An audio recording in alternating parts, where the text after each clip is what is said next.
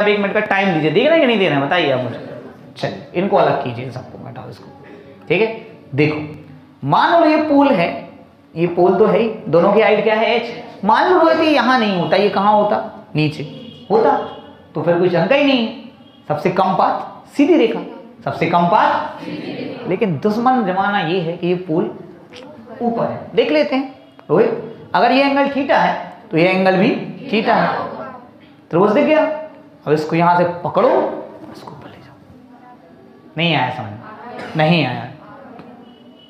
क्या किया समझे? इसको सब पकड़ो और पकड़ के कहाँ ले जाओ? ऊपर। पहुँच गए पुल पे। ये वो रास्ता है जिससे लाइट को क्या मिलेगा? सबसे कम टाइम कैसे एक्सप्लेन किया अपन ने? अपन ने बोला चलो पोल ऊपर नहीं कहाँ है? नीचे। तो सीधी लाइन में सबसे कम टाइम लगेगा। सीधी लाइन में सबसे कम। और हमने पूरा बना के उसी को कहाँ पहुँचा दिया? ऊपर पहुँचा दिया। लीजिए, ये वो रास्ता है जिसमें क्या लगेगा? सबसे कम टाइम लेकिन उसके लिए ये और ये एंगल क्या रहेंगे? बराबर क्यों क्यों रहेंगे भैया? ये शीर्षाभिमुख कौन है? और लीस्ट टाइम के लिए क्या होना चाहिए? बराबर। नहीं आया समझ मान से। अब आप एक मिनट का टाइम दीजिए, खास करके कोई भी। अगर ये ठीटा है तो ये क्या होगा? बायो वालों को ही बनना चाहिए यार। 90 माइनस थीटा। और अगर ये थीटा है तो ये? सिद्ध हो गया। आप तन कौन बराबर क्या? बराबर। क्यों? क्योंकि प्रकाश ऐसा रास्ता चुनता है कि उसको क्या लगे? सबसे कम लाइन नहीं आया मज़ा। अब मैं आपको बिल्कुल कागज़ पे लिख देता हूँ। किसी ज़रूर जाके पूछेगा, जिसने जिनका ये सिलेबस सिलेबस हो गया आप तो खत्म ही होगी फिर एक से ही खत्म हो गई। फिर इसकी इज़्ज़त देखो कितनी अच्छी, खटाखट खत्म हो गई। एक बार ज़रूर पूछेगा कि आपने क्या ये नियम भी पढ़ा है? वो पढ़ा है तो क्या एक्सप्लेन किया गया? नहीं। आप ऐसे ही पढ़ना चाहते हैं। शायद मैं भी आपको आखिरी में से पढ़ाऊँ, पर अभी तो ऐसे ही पढ़ा ठीक है? चलिए, आखिरी चीज़। मैंने क्या किया है? एक लाइन खींची हुई है।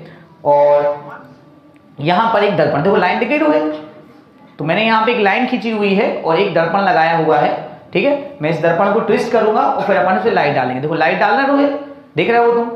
यहाँ पे एक निशान लगा लिया, आपतित किरण में। देखो कितनी ब्राइट लग रही है। और ये वाली देखो कितनी हल्की लग रही है। देख लग रही है हल्की?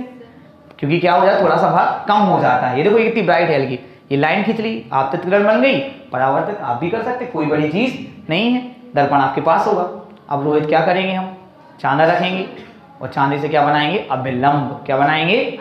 नब्बे डिग्री बन जाएगा अभिलंब। थक गए यार तुम लोग तो बहुत थक जाते हो। रोहित ज़ीरो फिर दस बीस तीस पैंतीस।